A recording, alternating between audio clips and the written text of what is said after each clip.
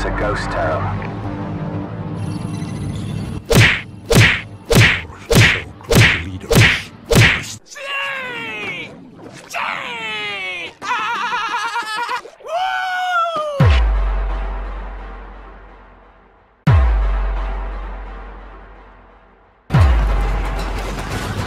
This appears to be the work of the ultranationalists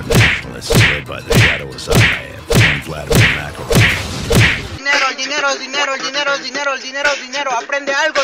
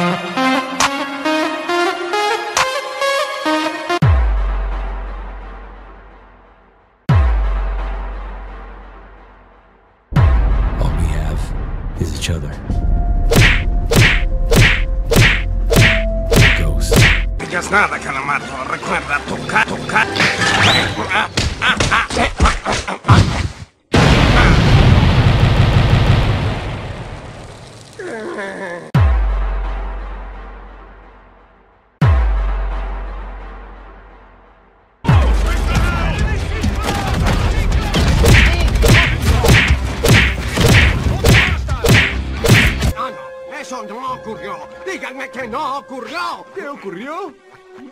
¿Dónde estamos? Estamos perdidos. No hay por dónde salir. Atascado en la mitad de la nada con Bob Esponja y Patricio. Muy bien, caracola mágica. ¿Qué hacemos ahora? Saca otro Modern Warfare. ¡Hablando la caracola mágica!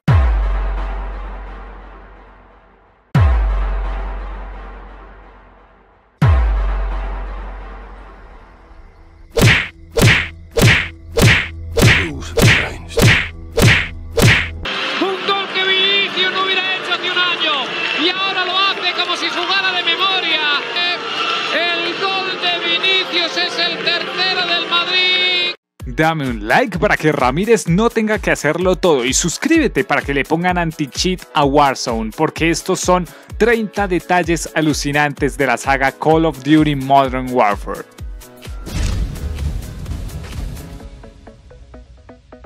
En la versión original de Call of Duty 4, en el mapa Bog, si nos dirigíamos al centro del mapa, justo donde está este coche destruido, encontraremos una lámina en la que podíamos ver un extraño personaje, quien se hacía similar a un alien, un easter egg similar a esos de los Call of Duty clásicos en los que metían aliens. Lo raro es que en la versión remasterizada de este juego, esto se eliminó, lo que nos deja pensando ¿por qué? Otra curiosidad de este estilo se trata de que en el mapa Ambush, si nos íbamos a esta casa con una escalera de mano y subíamos al segundo piso, encontraríamos este cuadro de un sujeto abrazando un camello. Y si eso no es lo suficientemente extraño, apuntándole empezará a brillar. Pero en la versión remasterizada tampoco está este cuadro. En este juego, precisamente en la misión Casa Franca, hay una brutal escena en la que el capitán McTavish interroga a Al-Assad y posteriormente lo ejecuta. Pero lo mejor de esta escena sin duda es este mod en el que sustituyen al equipo de Price por, solda- por soldados de la compañía Sombra del general Shepard y a Al-Assad por Makarov. Sin duda muy satisfactorio. Sin duda la Desert Eagle es la mejor pistola en la historia de Call of Duty y una de las mejores de la, de la cultura popular. Lo malo es que en la campaña de este juego solo podemos ver dos. La primera y única usable aparece en la misión Tripulación Prescindible. Además, solo la podemos usar al final de la misma misión. Y la otra es la que usa Imram Sakaev durante la, toda la campaña. En la primera misión del juego llamada FNG, hay un circuito que se debe completar en el mejor tiempo posible y dependiendo de tu resultado se te recomendará una dificultad u otra. Lo que no sabes es que el tiempo más rápido registrado ha sido hasta ahora de 8,65 segundos, superando por 7 segundos al mejor tiempo que hicieron los desarrolladores del juego. ya soñaríamos nosotros con ser Dios como este tipo y tener un tiempo así. Y me pregunto qué dificultad le habrá recomendado. ¿Realista? ¿Vete a, ¿Vete a Afganistán o qué? En este Call of Duty se estableció un recurso de guion bastante interesante que se convertiría en algo muy recurrente a lo largo de esta saga y es que todos los personajes secundarios deben morir. En este Call of Duty lo hicieron Gas, Griggs, Sánchez, Jackson y muchos más, sobreviviendo solo Price, Soap y Nikolai. En Warfare 2 lo hizo el 100% de la fuerza operativa, exceptuando a Price, exceptuando a los tres que sobrevivieron antes. En Warfare 3 solo sobrevivió el Capitán Price y Nikolai. En Infinite Warfare solo sobrevivió la Teniente Salter y así por el estilo. Una costumbre muy cinematográfica que le da identidad a la saga, pero con Ghost se pasaron. En la primera misión de este bello juego, una vez terminas el tutorial y te diriges a la pista de obstáculos, podrás oír una conversación entre un tanto extraña entre dos soldados.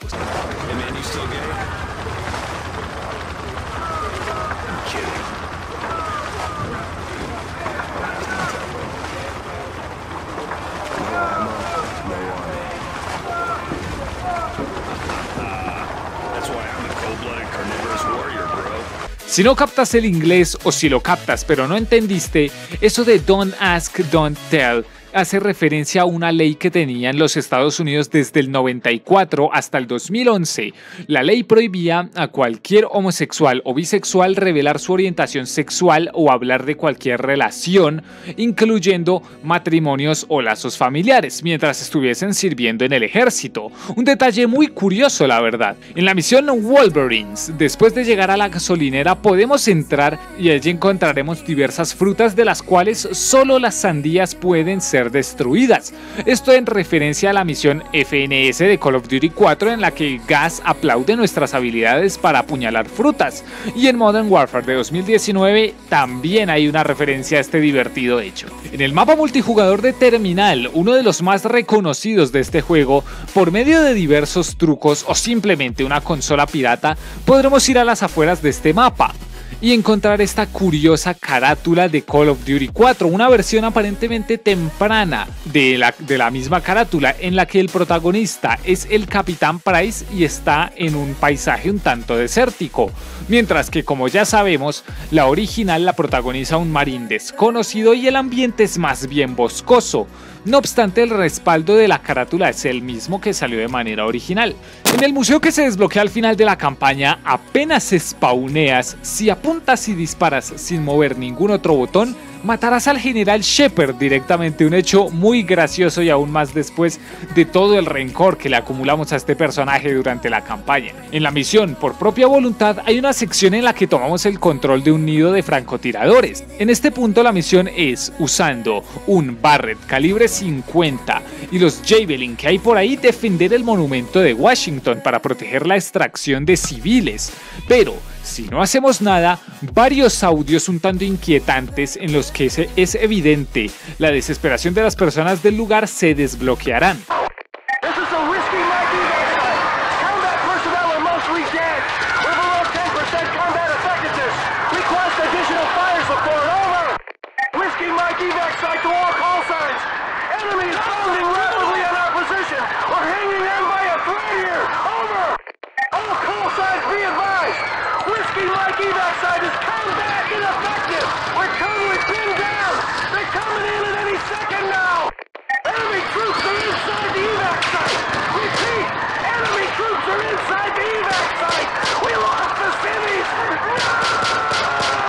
Nadie puede negar que en la versión remasterizada de Modern Warfare 2 vino a aportar mucho a nivel gráfico y técnico, con demasiadas animaciones, la presencia más constante de nuestras manos, armas y muchas otras cosas. Pero hay dos en especial que para mí no tuvieron demasiado sentido. La primera es en la misión aterrizaje, exactamente en la parte en la que capturamos a uno de los hombres de Rojas. En la versión original vemos cómo Ghost se dispone a utilizar electricidad para llevar a cabo el interrogatorio, algo que a su vez hace rima con el método de interrogación que también se le aplicó al mismo Alejandro Rojas. Pero en la versión remasterizada de la campaña, Ghost se dispone a usar un soplete con el ciervo de Rojas, mientras que usa electricidad con el mismo Rojas, un cambio que no tiene demasiado sentido a decir verdad.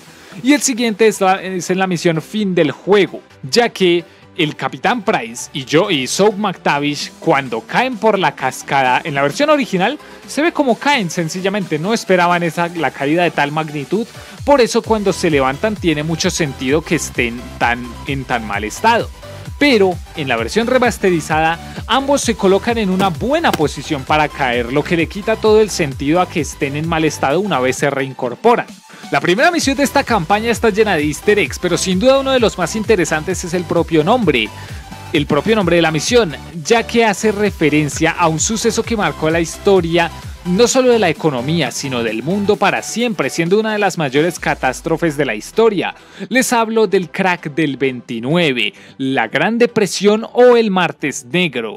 En esta fecha, la bolsa de valores de Wall Street sufrió una caída en sus precios. Esto provocó la ruina de muchos inversores, grandes hombres de negocios y pequeños accionistas, el cierre de empresas y bancos. En esta misión pasa más o menos lo mismo, pero en vez de una caída de precios es una guerra mundial la que hace el crack de la bolsa. En la operación especial, mucho ojo, una vez completamos el circuito y lleguemos con Sandman, podremos girar a la derecha para ver una foto del general Shepard usada como tiro al blanco. Lo curioso aquí es que como sabemos, las operaciones especiales son efectivamente canónicas, y esta en especial se presume que sucedió antes del inicio de la campaña, la cual comienza horas después, apenas un par de horas después del final de Modern Warfare 2. Entonces, ¿cómo pudo Sandman enterarse de la traición de Shepard? Recuerden que Shepard dio la orden de búsqueda y captura al Capitán Price y a Soap, quienes eran íntimos amigos de Sandman y Frost, por lo que es lógico que desde ese momento Sandman empezara a sospechar de lo que había sucedido con el Capitán Price y con Soap junto con el General Shepard. En el mapa de Village, si nos dirigimos a la siguiente ubicación, encontraremos una puerta de avión en la cual, con ayuda del modo cine, podremos ver números grabados, que por la nitidez es muy fácil verlos. Lo curioso es que estos números son exactamente los mismos que aparecen en la serie Lost, una serie emitida entre el 2004 y 2010 muy polémica. En el mapa santuario, si nos dirigimos al cementerio, podemos oír una triste conversación. Lo más curioso es que esta es la misma conversación del señor Davis y su familia antes de que un atentado terrorista acabara con sus vidas en la misión posterior a Cuidado con el Hueco.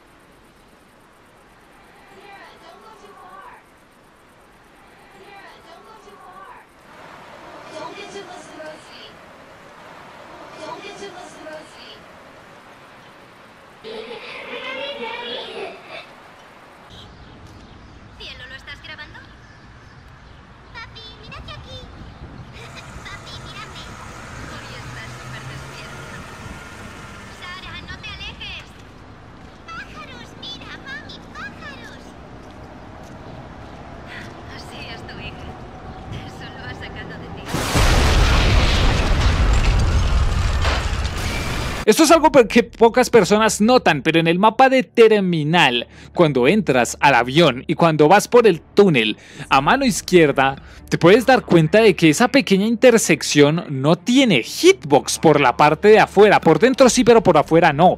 Lo que hace que tanto los disparos eh, como cualquier otro objeto pase sin ningún inconveniente. La MP7 sin duda es el, el mejor y más emblemático subfusil de esta entrega de la saga, pero estoy seguro que no notaste este pequeño detalle y es que la misma arma con silenciador suena de manera distinta dependiendo de la plataforma en la que estés jugando.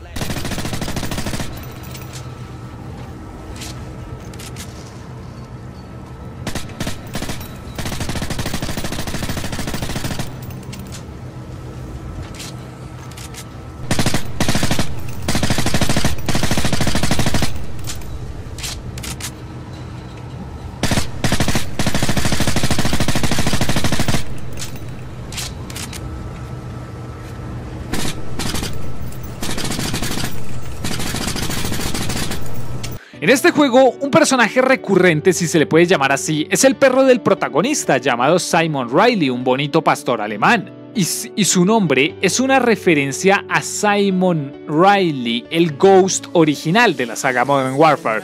Esto quizás sea un homenaje y también una referencia a que todo el mundo en ese momento pensó en que este juego, Call of Duty Ghost, iba a ser un spin-off de Modern Warfare basado en la historia del icónico Ghost, pero no terminó siendo así.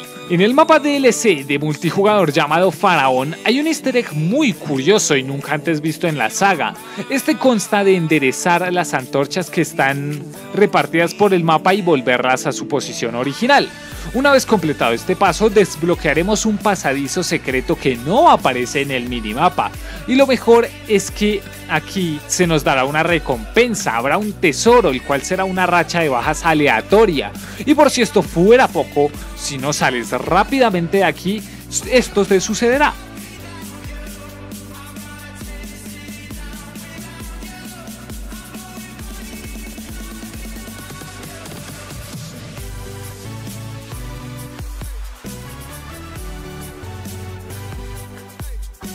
Hay un logro en este juego que no muchos conocen y es el de muchos PX puntos de experiencia. Este easter egg es muy curioso ya que toca recorrer todos los mapas del DLC Onslaught y bueno, el easter egg consta de dispararle a los cuatro huevos de extinción que hay regados por los mapas y para verificar que lo hayamos hecho bien nos popeará un aviso en la parte izquierda de la pantalla. Una vez hayamos completado este paso, tendremos que ir al modo Extinction, específicamente al mapa de Nightfall, y tendremos que destruir una colmena de extinción, la que sea. Y entonces se nos darán muchos puntos junto con un logro llamado Muchos P. Demasiados. Además, de un además es chévere, es chévere que metan estos easter eggs. En el mapa terminal remasterizado en este juego, si nos vamos a este pequeño kiosco de comidas, encontraremos este extenso menú de pescado. Y lo curioso es que hay una gran referencia a Call of Duty Ghost y una de sus grandes polémicas. Por aquel 2013 Infinity Ward anunció con bombos y platillos el nuevo sistema de inteligencia artificial, la cual ayudaba a darle realismo al juego, específicamente a los peces, y se llamaba AI Fish, inteligencia artificial pescado básicamente. Algo que está bien, pero no es lo que anunciaron, además no había motivo para anunciarlo con tantos bombos y platillos. Y una manera de reírse de, esto es el último plato que tenemos en este menú. Hay un carp roll hecho de AI Fish que cuesta 2 mil dólares. Una manera muy graciosa de recordar esta polémica. En el mapa de ruptura hay un detalle en el que no muchos se dan cuenta. En el mapa hay un bloque de celdas que nosotros no podemos ver del todo bien. Entonces si nos metemos al modo espectador podemos ir al otro lado y ver que en este bloque hay prisioneros y no son modelos estáticos, son modelos normales que se arrastran, que lloran, que ruegan, algo que demuestra un gran nivel de detalle. En este juego por alguna razón los especialistas son completamente inútiles contra las rachas de bajas. Esto está muy bien porque premia a los jugadores que se sacan las rachas, pero deja muy mal parados a los especialistas.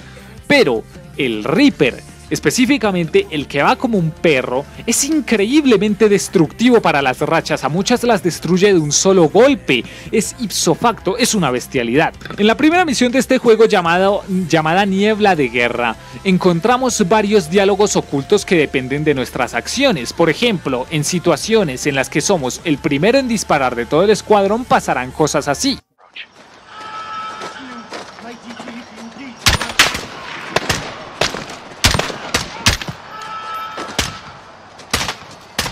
Clear. Force up.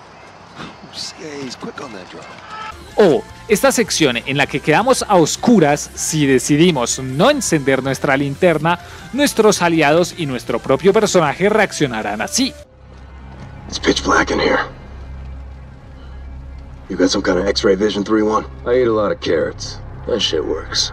Este detalle a mí me partió la cabeza en dos cuando lo vi, o sea, de verdad, es una cosa increíble, pero bueno.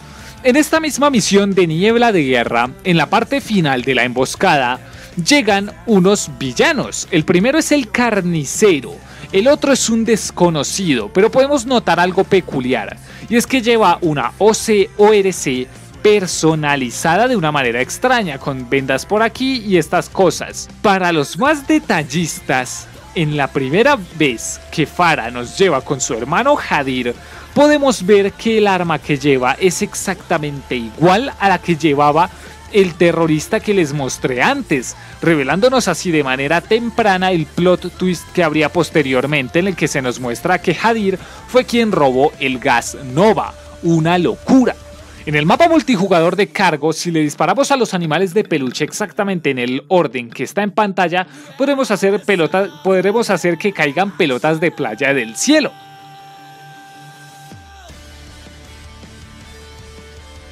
En el mapa de trinchera hay un easter egg que se parece mucho a uno que hay en Warzone y es que en primera podemos ir a las ubicaciones que tienen en pantalla y encontraremos este código.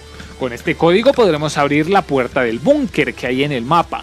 Y cuando entramos a esa pequeña habitación podemos encontrar varios ositos teniendo una reunión de negocio, junto con un teléfono rojo. En este teléfono encontraremos otro código, código el cual pondremos en el pad que usamos antes. Entonces alguien llamará y en este momento entonces se abrirá el ascensor y saldrá un osito Teddy gigante con dos miniguns e intentará acribillar. En el mapa multijugador de Livestock tenemos este easter un poco siniestro, pero bueno, tenemos que dispararle a los osos de peluche, además de detonar al mismo tiempo unos C4. Después de hacerlo en el orden correcto aparecerán dos osos en el granero. Tendremos que destruirlos con el C4 y aparecerá una estrella de David más o menos clara, no está del todo bien dibujada. Y pues pasará esto.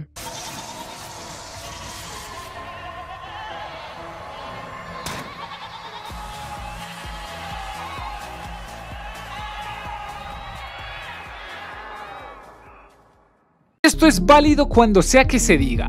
Modern Warfare es mejor que Black Ops. No hay discusión. Dame un like para que Ramírez no tenga que hacerlo todo. Suscríbete para que le pongan anti-cheat a Warzone y activa la campanita para que el próximo para que el próximo Modern Warfare vuelva a darle patadas en el traste a Black Ops.